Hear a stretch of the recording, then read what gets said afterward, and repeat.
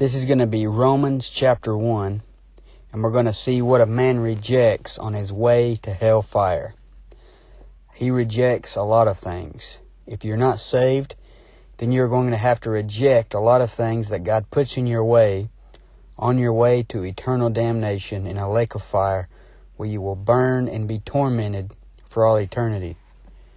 Number one, a man who is on his way to hell is in rejection of the gospel if he hasn't heard it. If you've heard the gospel and you're not saved and you die, then you're going to die without the Lord Jesus Christ. You're going to die without the righteousness of Jesus Christ. And you're going to go to hell with your own sin on you. You need to get your sins taken away by believing on the Lord Jesus Christ. Romans chapter 1, verses 1 through 4 says, Paul, a servant of Jesus Christ, called to be an apostle, separated unto the gospel of God, which he had promised afore by his prophets in the Holy Scriptures, concerning his Son Jesus Christ our Lord, which was made of the seed of David according to the flesh, and declared to be the Son of God with power, according to the Spirit of holiness, by the resurrection from the dead. So, as you see, Paul is separated into the gospel of God. So Paul believes the gospel of the death, burial, and resurrection of the Lord Jesus Christ. And this is what he preaches to a lost sinner. And notice in verse 1, he says he was separated unto the gospel of God. He wasn't only separate from the world, he was separated unto something. We need to be separate from the world, meaning we don't need to be doing the same thing the world's doing, but we also need to be doing something for God.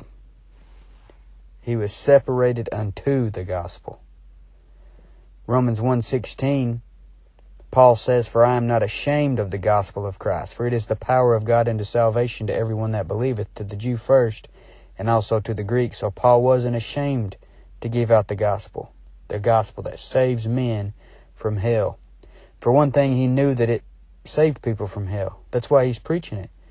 He knew it was the only way. He knew that Jesus Christ is the way, the truth, and the life, and no one comes to the Father but by him. And he loved sinners so much and knew hell was so bad that he even says he could wish himself a curse for his kinsmen according to the flesh. He would die and go to hell if he could get the Jews to believe the gospel. But that wasn't possible for him to do. It was uh, up to them to believe the gospel. It's up of your own free will to choose Jesus Christ. You're born going the devil's way, and you have to choose the Lord Jesus Christ. Uh, God chooses you, and the devil chooses you, and you got to break the tie. You choose one of the two. And if you just die without even giving it a thought, then you automatically choose the devil.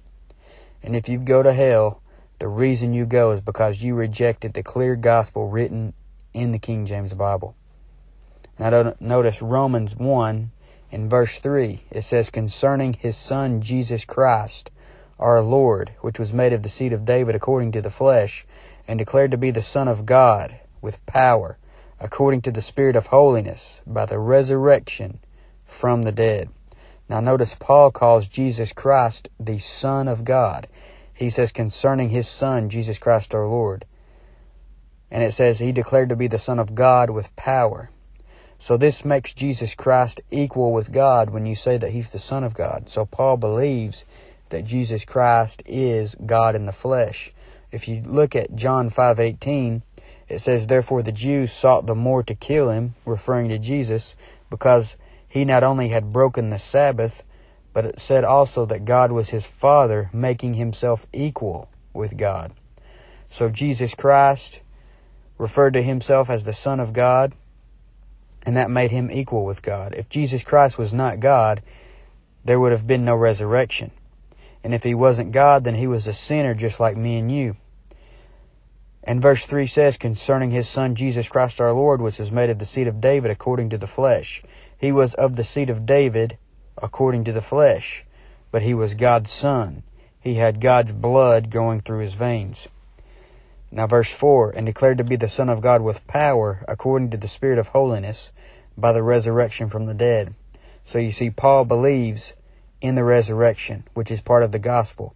The gospel is given in 1 Corinthians 15 also by Paul where he says, For I delivered unto you first of all that which I also received, how that Christ died for our sins according to the Scriptures, and that he was buried, and that he rose again the third day according to the Scriptures. So the resurrection is part of the gospel. And that's part of what you're rejecting on your way to hell. The resurrection proves the sinlessness of the Lord Jesus Christ. It proves his deity, which means that he was God. And if you go to hell, then you reject God sacrificing his son to pay for your sins. When Jesus Christ was on the cross, he became sin for us. Every sin you ever committed was put on him on the cross. He already paid for your sins. Now you just have to accept the payment for the sin. Now, if you reject the payment, that's what you're going to reject on your way to hell. Now, number two, we've seen how a man rejects the gospel on his way to hell. Now, number two, a man rejects what the preacher says on his way to hell. The preacher gives you the gospel, you reject that.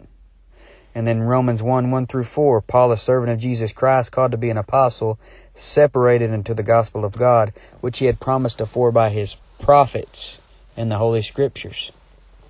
Uh, there are millions of people who reject what the preacher says on the radio, or at church, or on the street, or at their front door, and they go to hell.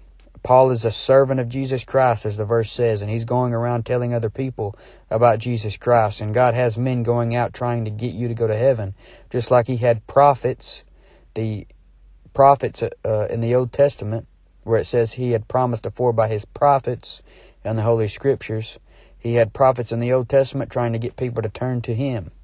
And if you go to hell, you reject what Paul says and you reject what the prophets said about Jesus Christ in what the verse calls the Holy Scriptures. And have you ever been in church or somewhere and the preacher was telling you that you're a sinner and that you're going to die and go to hell, but you just didn't do anything about it?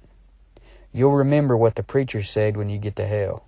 And I'd hate to go to hell after I've heard warning after warning after warning. Every time you drive by a church, every time you see a church bus, every time you see a Bible in a doctor's office, every time you hear a preacher preach on the street, every time you're given a gospel tract, every time a, a preacher come to your door and knocked on it trying to get you to be saved, you're going to remember all those times that you had an opportunity to believe the gospel, but you reject what the preacher said. And the prophets and the Holy Scriptures told us about Jesus. And if you've heard any of what they said, you reject what they say. Even though they didn't have Jesus Christ revealed to them, they had it written down. And we have it revealed to us today. Unto whom it was not revealed, it wasn't revealed unto them, but unto us they did minister the things, as it says in Peter's epistle. And now we know that Jesus Christ is on every page in the Old Testament. We know that Jesus Christ is the way to heaven. And if you go to hell, then you reject what every preacher of the gospel of the Lord Jesus Christ has said to you. So you reject the gospel. You reject what the preacher says. And number three, you also reject a free gift. Romans 1 5 through 6 says, By whom we have received grace and apostleship for obedience to the faith among all nations for his name, among whom are ye also the called of Jesus Christ. The Church of Christ will say the obedience to the faith is water baptism. And this is false doctrine. This is completely of the devil to say that water baptism takes away sin when it has nothing to do with taking away sin. If you look at Romans 16:26, it says, "But now is made manifest and by the scriptures of the prophets according to the commandment of the everlasting God, made known to all nations for the obedience of faith. So the obedience in Romans 1 5 through 6 is about having faith, and God gives every person who ever lived enough faith to believe. They accept that gift or they reject that gift. He doesn't leave anybody out, and He doesn't override anyone's free will. Everyone has an opportunity to accept or reject the free gift of salvation. Romans 6:23 says for the wages of sin is death but the gift of God is eternal life through Jesus Christ our Lord. Romans 12:3 For I say through the grace given unto me to every man that is among you not to think of himself more highly than he ought to think, but to think soberly, according as God hath dealt to every man the measure of faith. He gives every man enough faith to believe. But there comes a point where they reject that faith. And they don't want to believe. They don't even want to retain God in their knowledge. And someone asked, How much faith do I need to be saved? If you had enough faith to come to Jesus Christ as a guilty sinner, call on Him and believe the gospel, that's enough faith. Enough faith to call on Him. That's all it takes to be saved. How shall you call on Him in whom you have not believed? You believe in your heart to salvation. Uh, I would hate to go to hell.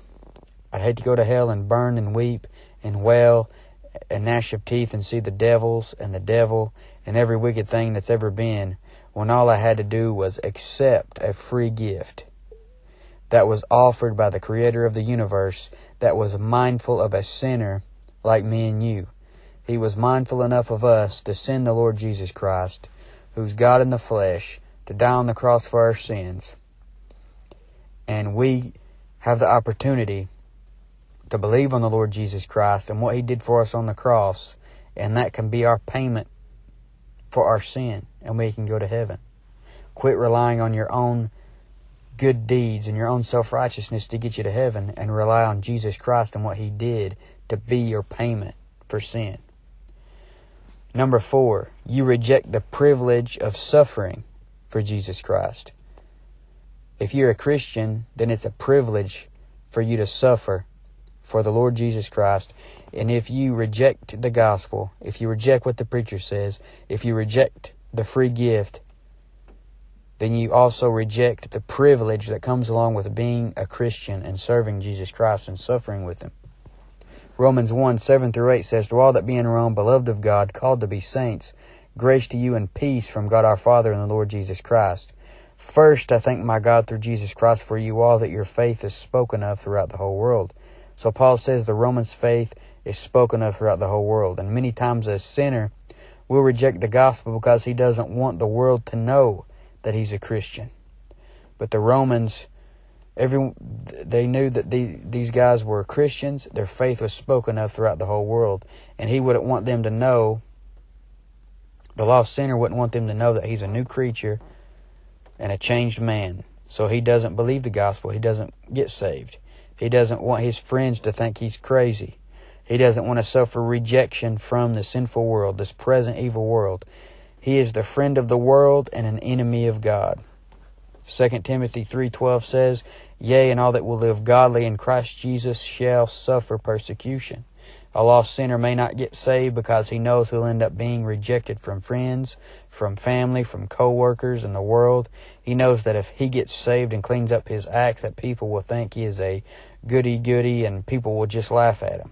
But it's better to get laughed at here by other sinners than to go to hell and have the devil laugh in your face in the fire. And if you go to hell, then you reject the privilege of suffering for Jesus Christ. And the Bible says if we suffer with him, we shall also reign with him. Acts 5:41 says and they departed from the presence of the council rejoicing that they were counted worthy to suffer shame for his name. So they counted they counted it as a blessing to be worthy to suffer shame for the name of the Lord Jesus Christ. And now, number five. If you go to hell, then you reject real fellowship. A lost person has friends, but those friends most of the time just take him further and further from Jesus Christ, and they may be loyal, but nothing can compare to real Christian fellowship between Christian friends. If you're saved, then you have people to pray for you. You have people who can help you spiritually. Men reject Jesus Christ many times because a friend is holding them back. They are worried about what their friend will think. And maybe they're living with someone outside of marriage and that's keeping them from salvation. People keep people from salvation many times. And I'd hate to go to hell with that on my record that I kept someone from being saved and then them go to hell with me. I'd hate to go to hell as a father who acted like a moron and a horrible parent to my son or daughter and then see them come straight to hell years after I got there, knowing that I could have got right and I could have showed them the right way. I could have showed them the King James Bible. I could have given them the gospel, but instead I lived for myself. I was a drunk. I was a fornicator. I was a, a dope addict. I led my kid down the wrong way, and now they're in hell with me. I'd hate, I'd hate to have that. I'd hate to go to hell with that on my record. Romans 1 9 through 15 says, For God is my witness, whom I serve with my spirit in the gospel of his Son, that without ceasing I make mention of you always in my prayers. So Paul never ceased to pray for other Christians. And if you are rejecting the gospel, then you really don't have Christian fellowship where you can be prayer partners with another brother or sister in Christ. You're rejecting all this good Christian fellowship, all the joy, and the, the talking about the Bible, talking about the things of God talking about things that bring truth, peace, you're rejecting that, and instead you're hanging out with people that most likely really aren't your friends. And Paul says in verse 10, making requests if by any means now at length I might have a prosperous journey by the will of God to come unto you. So Paul was a man of God. He prayed that he would be able to come to the Romans and see them. And we know we have passed from death unto life if we have a love for the brethren. If you reject the gospel, then you don't like hanging around other Christians for the most part. They convict you of sin. They shine the light on your sinful condition. And if you reject the gospel, then you reject real Christian fellowship. And Paul, that's what Paul liked, was real Christian fellowship, and he desired to have a prosperous journey to come to them. Now, verse 11 For I long to see you, Paul says, that I may impart unto you some spiritual gift to the end you may be established. If you reject the gospel, then you reject being able to get help spiritually by fellowshipping with another Christian, by hearing another preacher. You can't get real help from a preacher on certain aspects in your life if you're not saved.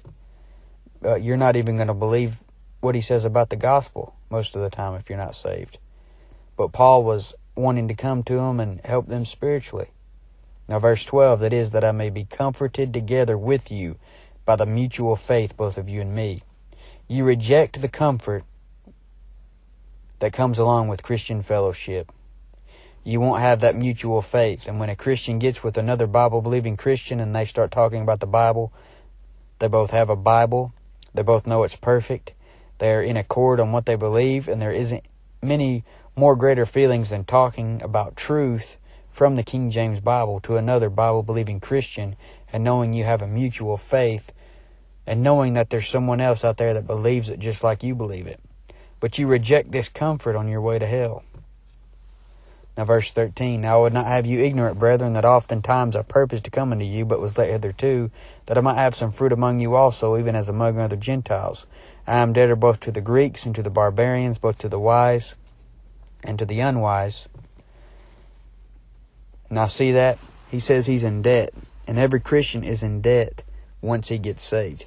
You can't do enough to pay the Lord back for saving you. He gave you salvation as a free gift, and you need to spend the rest of your life giving out the gospel, giving out the gospel to people that are going to reject it. Uh, find a way every day to give out the gospel to somebody. You're in debt to God, and you need to give the gospel to every creature and pray for those who are rejecting it. And you don't do this to stay saved or maintain your salvation. You do it because you love God and you want people to be saved just like you. Now, verse 15 So, as much as in me is, I am ready to preach the gospel to you that are at Rome also. And Paul is one of those gospel preachers that you step over on your way to hell. He is a big obstacle on your way to hellfire. You could have gotten saved and been helped by a man of the faith spiritually, someone like Paul. He was ready to preach the gospel everywhere he went. He dedicated his life to it. And if you go to hell, then you step over men in your area. Uh, there have been great men that were huge obstacles that men stepped over and dropped into hellfire. Men like Lester Roloff, Peter Ruckman, Danny Castle, Donnie Dalton, Harold Sightler, Sammy Allen, many great preachers that thousands of sinners have stepped over, and many other men that were known for preaching the gospel in their area or wherever they went. You reject men who are unashamed of the gospel that you're ashamed of. Romans 1:16 For I am not ashamed of the gospel of Christ for it is the power of God unto salvation to every one that believeth to the Jew first and also to the Greek. That was the order of salvation after Calvary. the Jew first and also to the Greek, and everyone has an opportunity to be saved, and anyone who rejects the gospel goes straight to hell when they die. The Christ rejecting Jew will go to hell, the Christ rejecting Gentile will go to hell. No exceptions. Now, number six, what does a man reject on his way to hell? He rejects God's righteousness. Romans 1 17 through 18 says, For therein is the righteousness of God revealed from faith to faith, as it is written, the just shall live by faith. In the New Testament, the just shall live by faith. In the Old Testament, in Habakkuk, it says, the just shall live by his faith. In the Old Testament, man found grace. In the New Testament, grace finds you. Uh, the righteousness of God is revealed from faith to faith. If it was revealed, revealed in the Old, it was revealed in the Old Testament and in the New Testament. Men couldn't get the righteousness of God in the Old Testament but they knew they didn't live up to the righteousness of God. And now we can get imputed righteousness. And if you go to hell, then you reject the opportunity to be made perfectly righteous. The Lord Jesus Christ lived a sinless life and died on the cross, took all the sins of the whole world and became that sin. He took your wickedness. He took your gossip, your lying tongue, your drunkenness, your adultery, your pornography, and all that sin was laid on his back. And if you get saved, God will let what Jesus Christ did on the cross when he became sin be payment for your sin, and he will give you the perfect record that's without blemish, and he'll give you that permanent record of Jesus Christ, that sinless record. You will have his righteousness imputed unto you. If you reject Jesus Christ, then your unrighteousness stays on your record. The Bible says there is none righteous, no, not one. And that is why you need a Savior. It takes the righteousness of God to get to heaven. And if you get saved, then God will give you the righteousness of Jesus Christ. You'll still have the sinful flesh in, in this life, but at the rapture, you will get a sinless body and you'll be perfect. And the holiness crowd thinks they have that perfection now, but this will only come at the rapture. My standing in Christ right now is perfection, but my state is however I'm living at any given moment. But at the rapture, I'll be made perfect inside and out. And if you reject Jesus Christ, then you reject that perfection. Now, verse 18 For the wrath of God is revealed from heaven against all ungodliness and unrighteousness of men who hold the truth in unrighteousness. Men are unrighteous, so they like unrighteous things, and any truth they get, they'll hold it in unrighteousness and try to pervert it. But the just shall live by faith, as it says here in, in Romans 1. Everything you do has to be done with faith. You get saved by faith, and everything you do in this life needs to be done with faith. Without faith, it is impossible to please God. When you hold a King James Bible, you need to hold it with faith. Don't hold it in unrighteousness and try to change it and correct it and uh, say this a better rendering would be or a better translation would be. Everything in the King James Bible is perfect, and when you try to change it, you hold the truth in unrighteousness. Now, number seven, what does a man reject on his way to hell? He rejects the creative hand of God on his way to hell. And if you have eyes to look up and see the stars and the trees and the grass and the mountains and the oceans and the creation, then you have no excuses for rejecting Jesus Christ. You see God's creative hand in everything. Every atheist is without excuse. The fool has said in his heart there is no God, according to Psalms 14.1. And the heavens declare the glory of God, and the firmament showeth his handiwork. Romans 1 19 through 25 says, Because that which may be known of God is manifest in them, for God hath showed it unto them. Even people who haven't read a Bible, heard a sermon, or heard the gospel, they know there is a God deep down, and it's manifest in them. They know it's wrong to commit adultery. And that's why Abimelech, back in the book of Genesis, knew he was wrong to take Abraham's wife. He was a heathen, and he still knew now, verse 20 in Romans 1 says, For the invisible things of him from the creation of the world are clearly seen, being understood by the things that are made, even his eternal power and Godhead is there without excuse. So you can see the creation.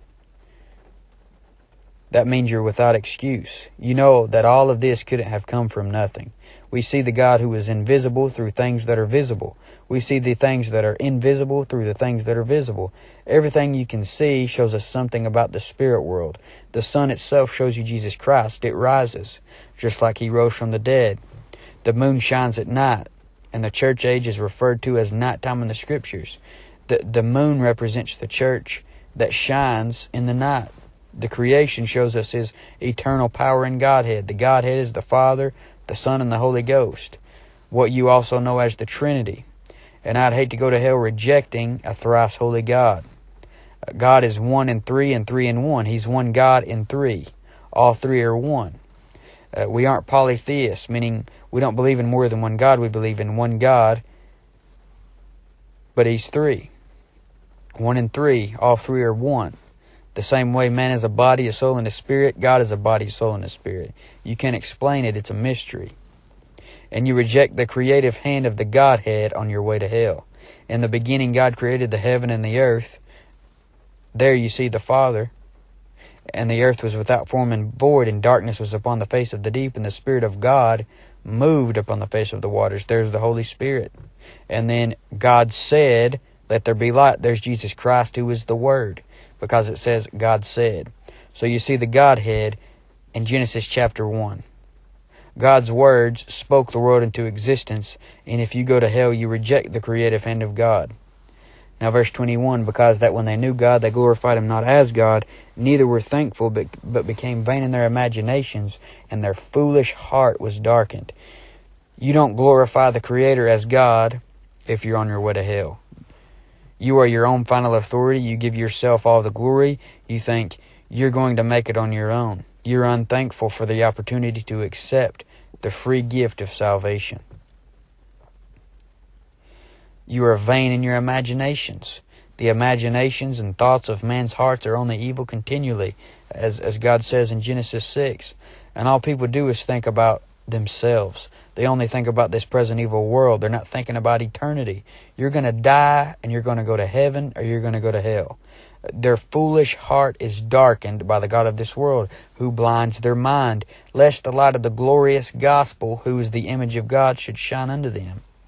If you're in rejection of Jesus Christ, then your mind is blinded by Satan.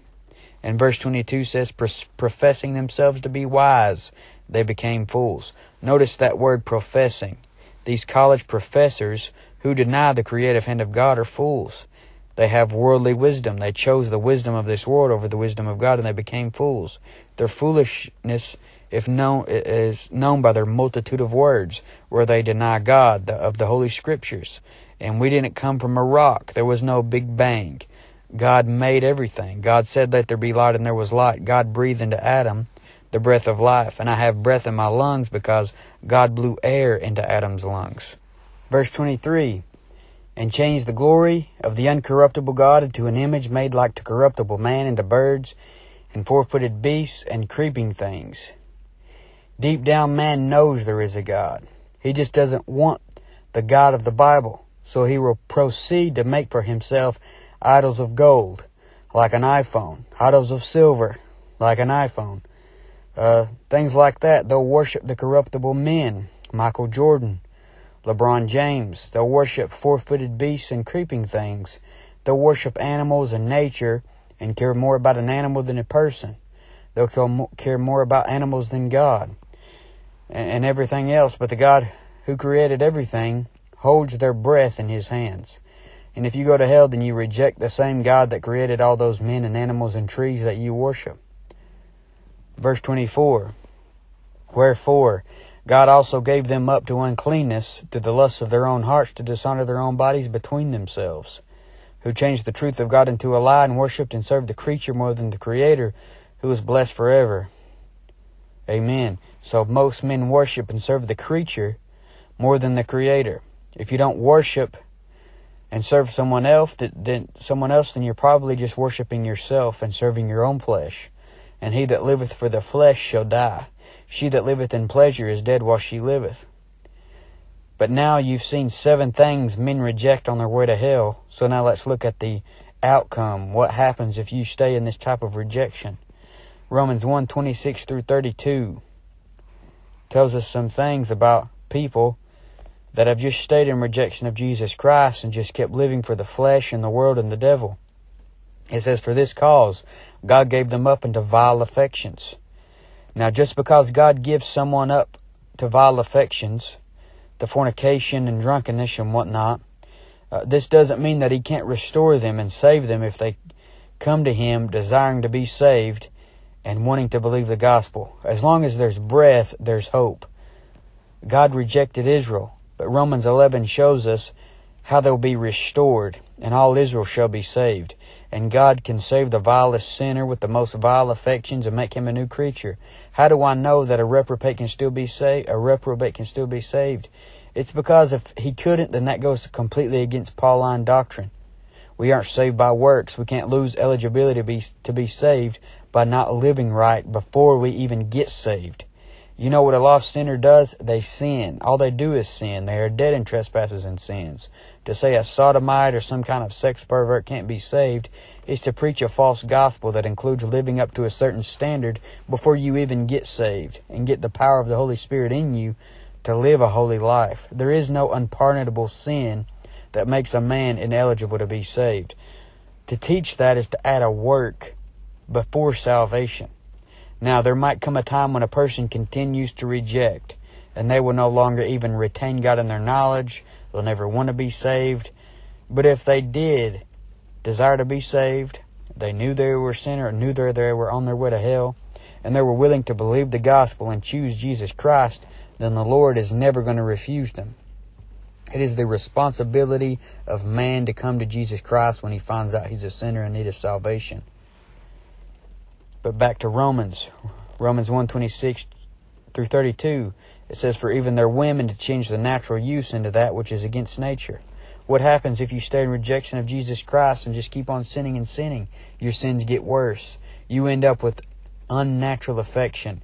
Women end up liking women. Men end up liking men It says in verse 27, And likewise also the men, living the natural use of the woman, burning their lust one toward another, men with men working that which is unseemly, and receiving in themselves that recompense of their error which was meet. So if you keep looking at pornography, you're going to eventually turn into a sodomite or some other type of extreme sex pervert. Your perversion only gets worse. You need the victory of the Lord Jesus Christ to overcome that sin. Without getting the victory, you'll continue to get more and more and more perverted. You'll leave the natural use of the woman. You'll burn in your lust toward another man. And man shall not lie with mankind as with womankind. It is an abomination. And they always ask these Christian celebrities and TV preachers, is homosexuality a sin? And they say, well, yeah, uh, it's it's not that it's a sin, but it's unnatural, and it's not for me to judge, or you know all this stuff. But you can judge it. God already said it's a sin. God said it's an abomination. It's wrong for a man to like another man. It's wrong for a man to fornicate with a man. Wrong for a woman to get with a woman. It's wrong for a woman to be attracted to another woman. It's vile affections. It is wickedness before the Lord exceedingly. Why sugarcoat something that God already said was of the devil? You'll receive the recompense, the payback of your error. Verse 28 And even as they did not like to retain God in their knowledge, God gave them over to a reprobate mind to do those things which are not convenient. If you want to keep staying in your sin and living for the flesh, the world, and the devil, God will let you be given over to those sins. Some sins get a hold of you, and when you think you have control of them, they have a hold of you. So if you keep watching porn, you'll find out you're not in control. If you keep drinking, you'll find out you're not in control of the bottle. God will let you Stay in that stuff. And He may put stumbling blocks on your way to hell for a while. But then He'll let you be given over to it. Like I said, this doesn't mean a man can't be saved or that he's become ineligible to be to be saved, but he's a lot less likely. And I believe there are some people who are so far gone that they don't even think about being saved. And they probably never will. They're just going to live this life fulfilling the desires of the flesh, and they most likely will never even think about being saved again. The saving power is still there, but they will forever refuse it. And look how they turn out. Verse 29 says, being filled with all unrighteousness. The Bible says all unrighteousness is sin. They are full of sin. They can't cease from sin. They have eyes full of adultery. The next word is fornication. Fornication is any type of sexual activity with someone you aren't married to, even if you are married to someone else.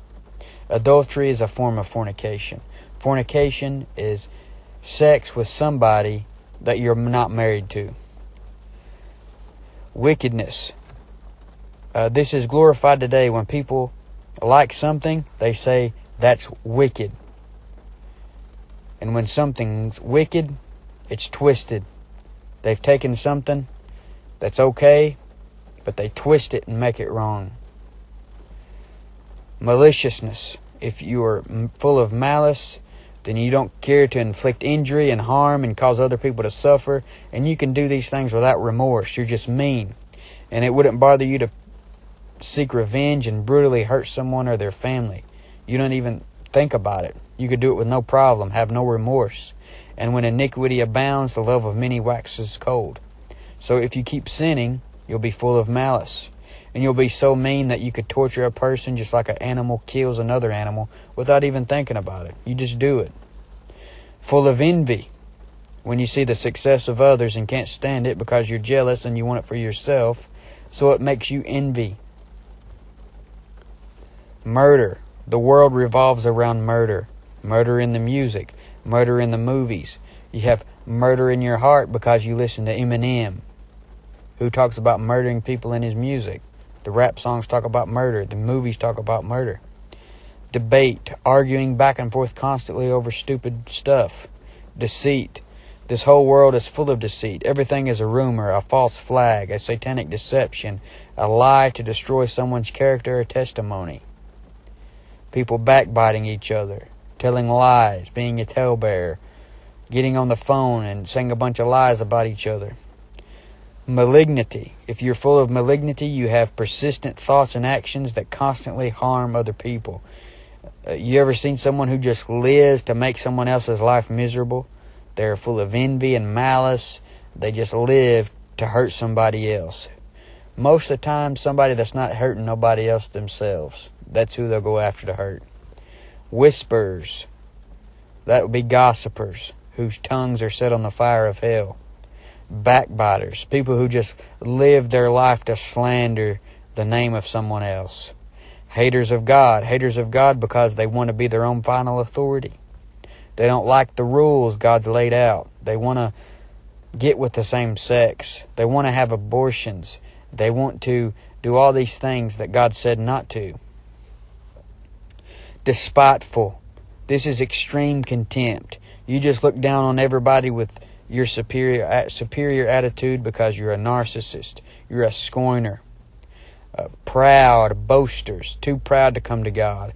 One of the things the Lord hates is a proud look, and anybody anybody who has a proud look, they're going to face their downfall. Pride goes before destruction, a haughty spirit before a fall, and nobody has any room to boast except God Himself. Salvation of not, is not of works, lest any man should boast inventors of evil things, anything someone makes for the purpose of sinning, rap music, rock music, country music, false religions. The book of Revelation talks about someone who loveth and maketh a lie, and Joseph Smith was an inventor of, ev- of an evil thing. For example, Mormonism, he made a lie. He's an inventor of an evil thing. Next, disobedient to parents. From the time you're born until the time you leave home, the devil is trying to get you to be disobedient to your parents. On the cartoons and on the movies, he makes you think your parents are old fogey and out of touch with reality and don't know what they're talking about. Next, without understanding, the natural man is in rejection of Jesus Christ because he has no understanding of the Scriptures. For the natural man receiveth not the things of the Spirit of God, neither can he know them, for they are spiritually discerned. Covenant breakers, you can't take them at their word. There are agreements and promises mean absolutely nothing. A handshake means nothing. Someone telling you something means absolutely nothing because they're covenant breakers. Without natural affection, people who have abortions, sex perverts, uh, implacable. You can't please them. You can't pacify them. The eyes of man are never satisfied. So hell is never full. Uh, unmerciful. They have no mercy towards anyone or anything. They can show no mercy to someone who may commit the same crime as they did, yet they expect mercy for themselves. Verse 32 Who knowing the judgment of God, that they which commit such things are worthy of death, not only do the same, but have pleasure in them that do them so they know the judgment of God. Deep down, every sinner knows there is a God, and God has shown them right from wrong, and they commit these sins anyway. They also enjoy watching others commit the same sins, like on television. What are what all are you going to reject on your way to hell? I've showed you seven things you'll reject on your way to hell, and I've shown you what you'll become if you stay in that rejection. So choose Jesus Christ over everything else. Come to Him and rely on Him and Him alone to be your crucified, buried, and risen Savior. Believe on the Lord Jesus Christ, and thou shalt be saved. For whosoever shall call on the name of the Lord shall be saved. Paul said, For I delivered unto you first of all that which I also received, how that Christ died for our sins according to the Scriptures, and that he was buried, and that he rose again the third day according to the Scriptures. So I hope that you would quit rejecting the gospel and come to Jesus Christ as the guilty sinner that you are.